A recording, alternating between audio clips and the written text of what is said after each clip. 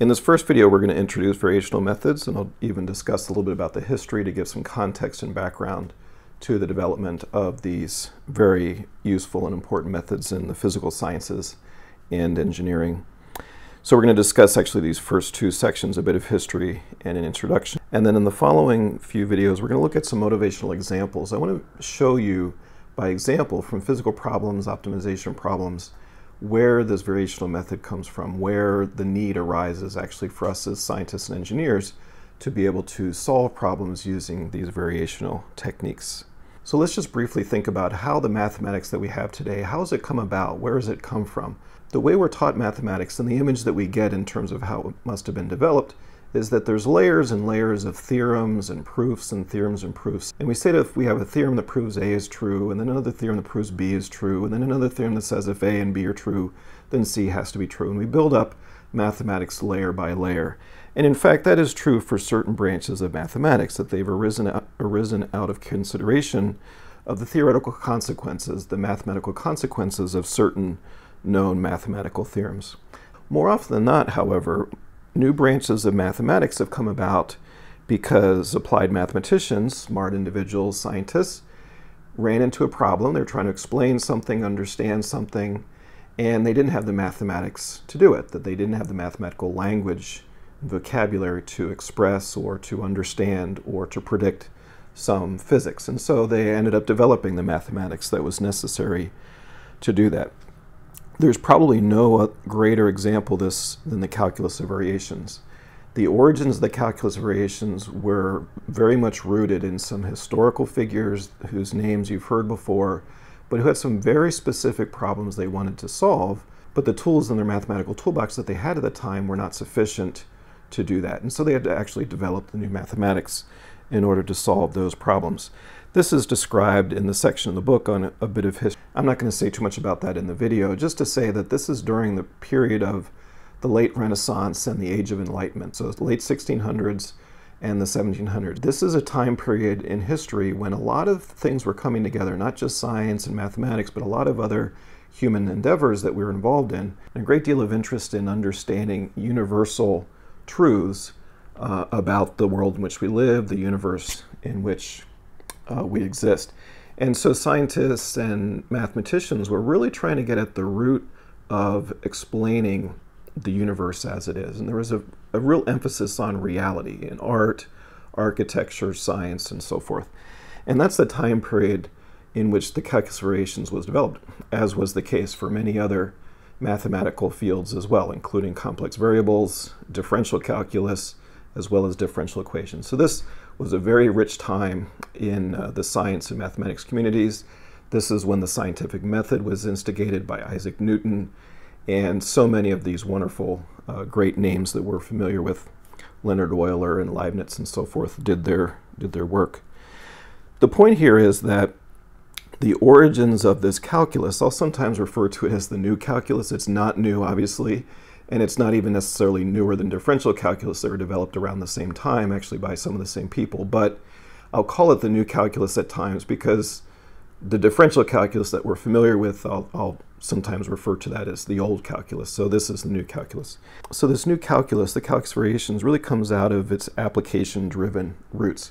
And that remains true today. It's a powerful set of mathematical tools that allows us to look at, address, understand, analyze, and predict the world in which we live, a lot of the physical principles that we are familiar with. So let's look at some of the applications of the calculus of variations. These are all covered in the book, some of which we'll cover in these videos, some of which we will not, but they're, they're in the book if you're interested in, in seeing more. So there's classical mechanics. The term classical, the way we use it in science and engineering, is it's something old and still useful. You think of classical music, it's old music, but it's still useful. The way we actually use that term is to refer to all of mechanics basically before Einstein.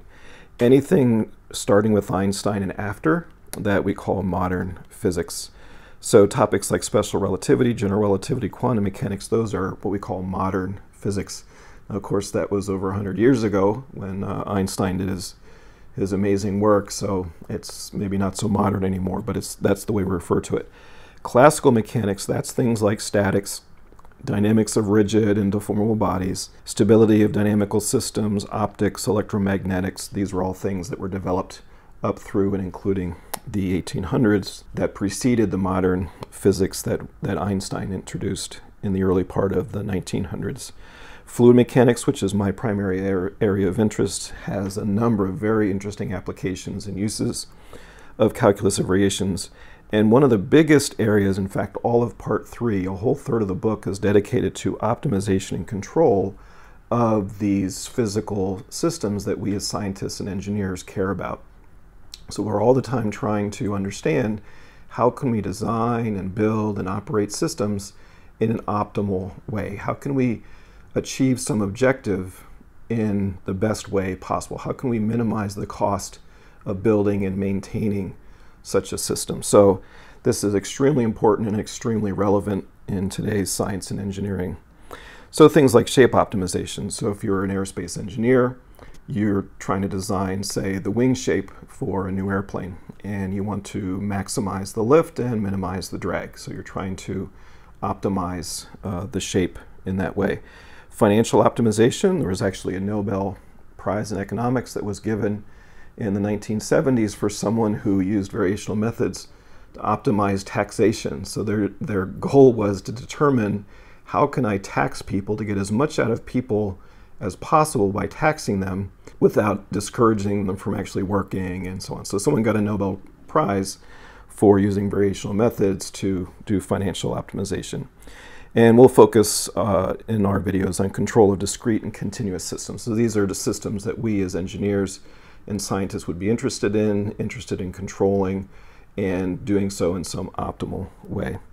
There's also a number of numerical methods that are either based on variational methods or use variational methods. The finite element method, which is a very popular and common method used all throughout engineering and many of the sciences, is based on variational principles. And some of you are thinking, wait, I've, I've read books, I've taken courses on finite element methods, and there's been no mention of variational methods. Well, you've heard of the strong form and the weak form. The strong form is the differential form, the weak form is actually the variational form. They may not have used that term, but that's what it represents.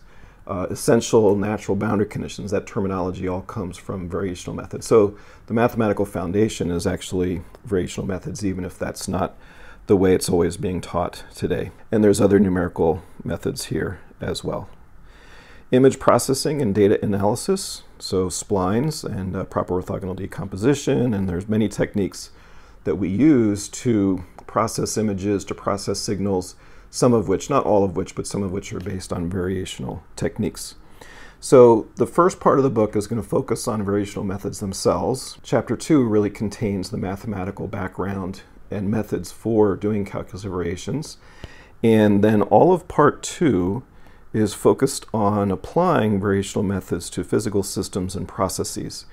The beauty of part two is we're going to encapsulate a whole host and a wide range of different physical phenomenon, from engineering to science to classical mechanics to modern physics and a, and a number of other areas, including fluid mechanics, my area, all within one umbrella, and that is the Hamilton's principle, which is a variational principle that unifies so many of the physical principles that we're familiar with, including Newton's second law, as well as many others.